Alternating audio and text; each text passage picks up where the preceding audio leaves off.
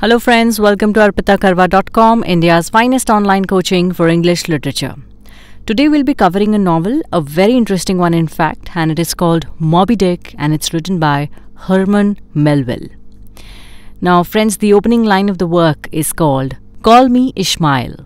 Uh, you have to remember that Captain Ahab falls for his pride, and the name of the boat that rescues Ishmael is Rachel. So these are some of the information that you have to remember. Philip exam perspective say this is very, very important.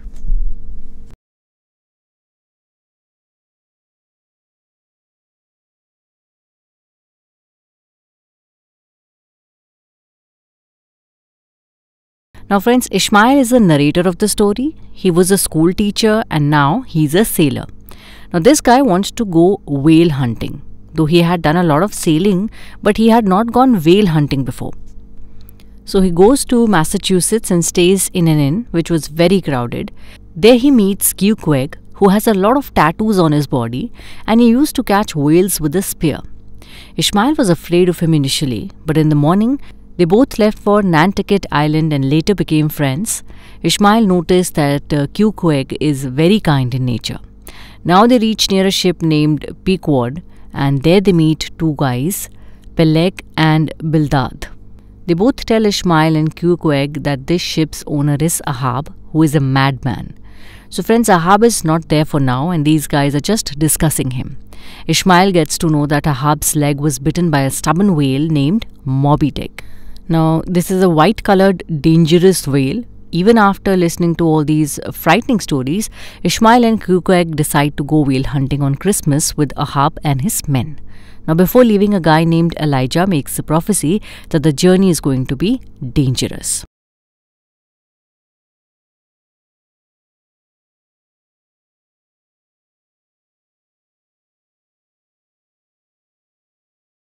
Now Ishmael is introduced to whale hunting on this ship and he also meets Starbuck, Flask and Stubb. These three are very good whale hunters and now Ahab comes to the terrace of the ship. This is the first time he enters the story. He has an artificial leg and says they have a normal ship but it's a special mission. He said they need to kill Moby Dick. Ahab tells everybody that whoever sees that white whale first, he will give him a gold coin. Now, Starbuck says that Ahab is not here for some kind of revenge, rather, he has come for some profit.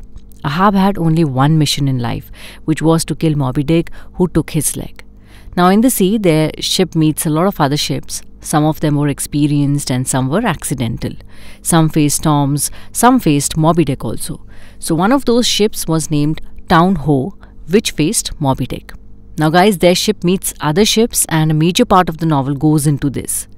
So, this ship reaches the Indian and Pacific Ocean, and during this journey, they catch many whales. But Ahab's life mission was to kill Moby Dick only. Now, there was a carpenter on Ahab's ship, and Ahab asked him to make a new leg for him as the old one was distorted. So, Queequeg thought he was dying, so he asked the carpenter to make a coffin for him. Though he did not die, and he got better afterwards. Now, the coffin was left of no use, but guys, it will be used later in the story.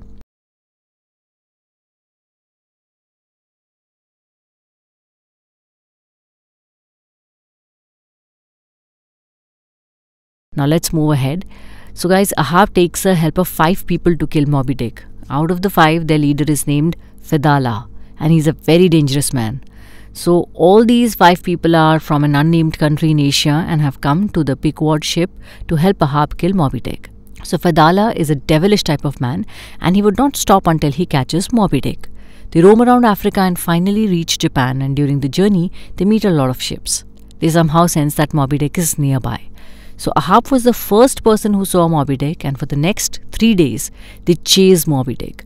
Now, guys, there is an iron smith on the ship, and Ahab asks him to make a new fish hunting spear. Now, Ahab tries to hit Moby Dick with that spear, but he misses, and it hits a small boat nearby. The boat flips, and all the people in that small boat safely come to the ship. The second time when Ahab tries to kill the whale, this time Fedallah gets caught and he falls into the water.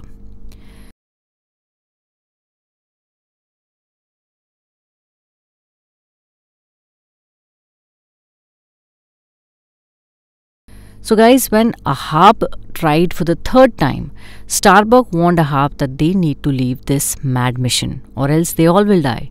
But Ahab doesn't listen to him and he hits Moby Dick with the spear. But this time, Ahab himself gets tangled in the rope attached to the spear. He gets hanged there and dies.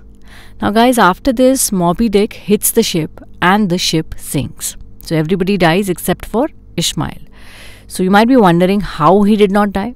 Well, Ishmael uses the coffin. So it was originally made for Queequeg, as I already told you. He used that coffin to float.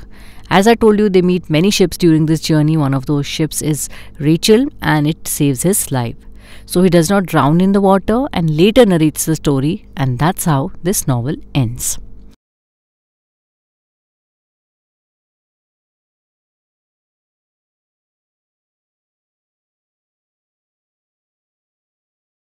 Now, some facts and quotes for you, friends. Uh, firstly, the novel's plot was partly based on the story of the whale ship Essex, which was sunk by a sperm whale in 1820.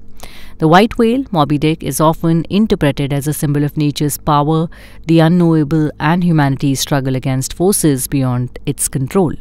So, friends, some important lines from the work include I know not all that may be coming, but be it what it will, I'll go to it laughing.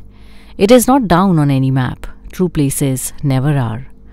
And third is better to sleep with a sober cannibal than a drunk Christian. So that will be all for this lecture, friends. We'll meet soon in the next lecture. Until the time we meet next, happy learning, keep loving literature, and stay tuned to arpitakarwa.com.